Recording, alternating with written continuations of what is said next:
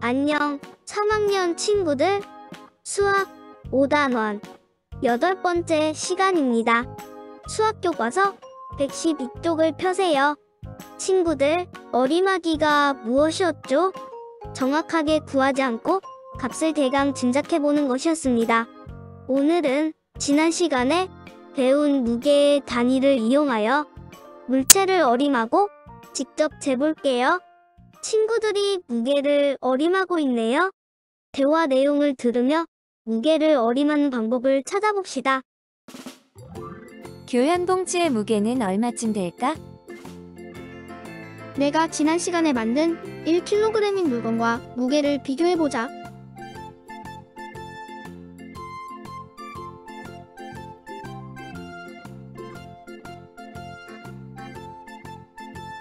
귤 한 개의 무게가 약 100g이라고 알고 있어. 그럼 귤이 모두 9개니까 약 900g쯤 되지 않을까?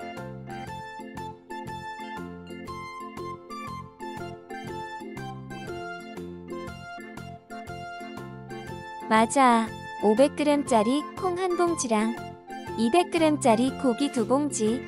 양손에 들어보니 이것들을 모두 합친 만큼과 귤 한 봉지의 무게가 비슷했어. 따라서 약 900g 정도로 어림할 수 있지. 이처럼 무게를 어림할 때는 내가 알고 있는 물건의 무게로 나누어 어림할 수 있어. 이렇게 무게를 어림하여 말할 때는 약 몇 킬로그램, 약 몇 그램 이라고 합니다. 다음 문제입니다. 이번에는 여러 가지 물건의 무게를 어림하고 재봅시다. 예를 들면 책가방의 무게는 얼마쯤 될까요? 약 2kg쯤 될 것 같아요. 실제로 무게는 재보니 2kg 200g이었습니다. 영상을 보며 표를 채워볼까요?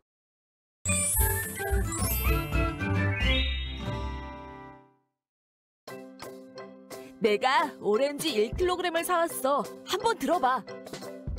아, 1g이 이 정도 무게구나. 1g이 아니고 1kg이야. 아, 맞다. 그렇지. 1kg. 그럼 이번에는 네 책가방을 들어서 무게를 비교해봐. 음, 책가방이 확실히 더 무거운 것 같아. 그럼 책가방은 1kg이 넘겠다. 음, 1kg 500g 정도? 그래, 비교해보니까 조금은 알 것 같지? 이렇게 무게를 어림하고 약 몇 킬로그램인지, 그러니까 약으로 표현해보자. 어때? 재미있겠지? 그럼 실제로 책가방 무게가 얼마나 되는지 재어볼까? 좋아, 내가 재어볼게. 음, 1kg 600g이다. 내가 거의 맞췄어. 오렌지 한 봉지랑 비교했더니 어림하기 쉬웠던 것 같아. 그래, 잘했어. 그런데 이렇게 무게를 어림하여 말할 때는 약 몇 킬로그램 또는 약 몇 그램이라고 말하면 돼. 아, 그럼 내가 오렌지 한 봉지를 1kg 500g으로 어림했으니까 오렌지 한 봉지는 약 1kg 500g입니다. 라고 말하면 되는 거네. 그래, 아주 잘했어. 그럼 이번에는 사과 한 봉지의 무게를 어림해봐. 이번에는 내가 힌트를 줄게. 사과 한 개의 무게가 약 300g이야. 사과 한 개의 무게가 약 300g이라고? 음, 그럼 쉽네. 사과가 모두 6개니까 사과 한 봉지의 무게는 약 1kg 800g일 거야. 좋아. 그럼 저울에 올려서 무게를 확인해 볼까? 무게를 재어보니 1kg 900g이야. 이번에도 거의 비슷하게 어림했어. 사과 한 개의 무게를 알고 나니 어림하기 쉬웠던 것 같아. 그래, 잘했어. 사과 6개는 약 1kg 800g으로 어림했어요. 직접 재려면 어떤 도구가 필요할까요? 저울이 필요해요. 저울에 올려보니 1kg 900g이었네요. 교과서에 적어보세요. 실제 무게와 가깝게 어림하려면 어떻게 해야 할까요? 네, 1kg인 물건을 이용하거나 무게를 알고 있는 주변의 물건을 이용하면 돼요. 자, 그럼 이번에는 귤 한 봉지의 무게를 어림해보자. 이번에도 힌트를 주는 거야? 힌트는 눈앞에 있단다.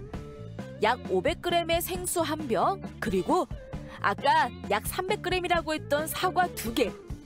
이걸 이용해서 어림해 보는 거야. 음, 좋아.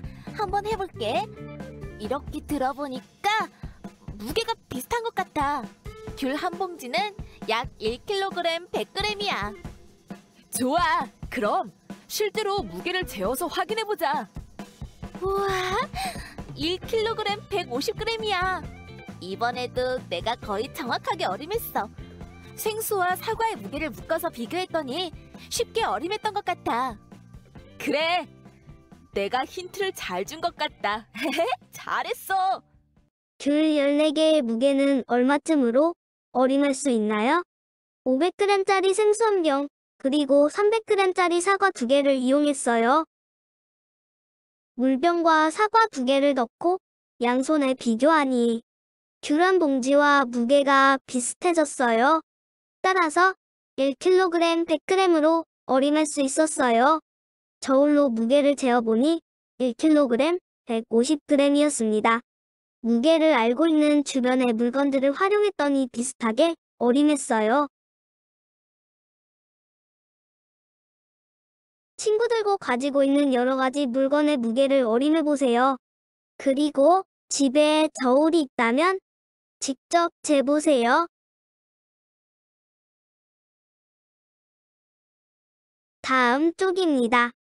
주변에서 무게가 2kg, 800g, 10g인 물건을 찾아 직접 무게를 재보세요.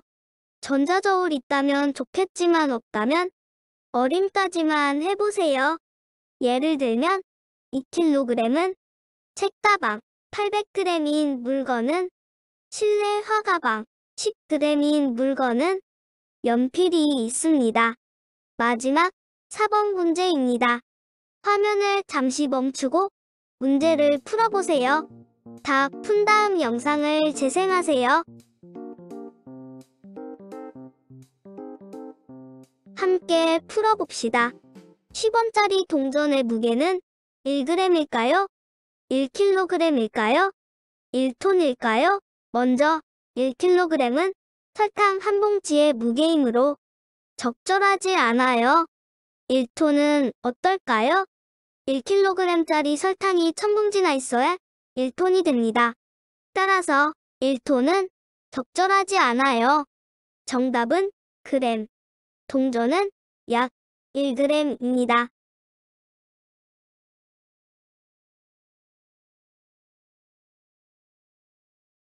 시금치 한 단의 무게는 450g일까요?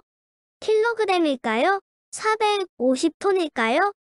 시금치 한 단의 무게는 1kg보다 더 가벼워요. 따라서 무게의 단위로 킬로그램이나 톤은 적절치 않아요. 정답은 그램, 시금치는 약 450g입니다.